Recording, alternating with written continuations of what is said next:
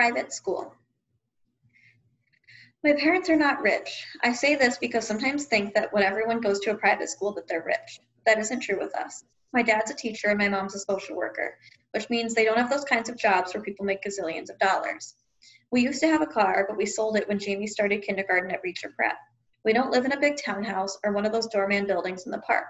We live on the top of a five story walk up we rent from an old lady called Danya Pierta on the other side of Broadway. That's code for a section of North River Heights where people don't really want to park their cars. Me and Jamie share a room. We overhear my parents talk about things like can we do without air conditioner one more year? Maybe I can work two jobs this summer. So today at recess, I was hanging out with Julian and Henry and Miles. Julian, who everyone knows is rich, was like, I hate that I have to go back to Paris this Christmas. It's so boring.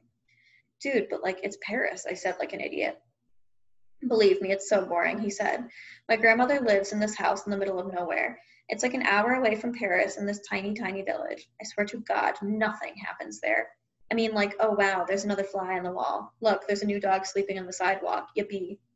I laughed. Sometimes Julian could be very funny. Though my parents were talking about it, throwing a big party this year instead of going to Paris. I hope so. What are you doing over break? said Julian. Just hanging out, I said. You're so lucky, he said. I hope it snows again. I got this new sled and it's so amazing. I was going to tell them about lightning, but Miles started talking first.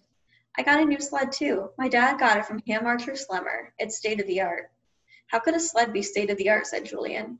It was like $800 or something. Whoa.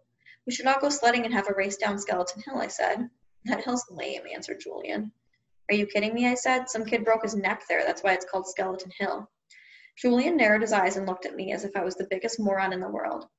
It's called Skeleton Hill because it was an ancient Indian burial ground. Duh, he said. Anyway, it should be called Garbage Hill now because it's so freaking junky.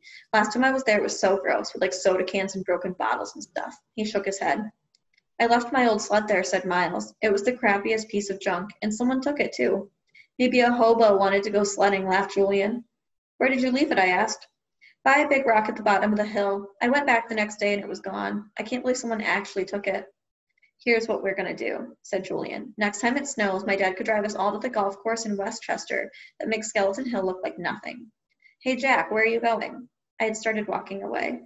I've got to get a book out of my locker, I lied. I just wanted to get away from them fast. I didn't want anyone to know that I was the hobo who had taken the sled.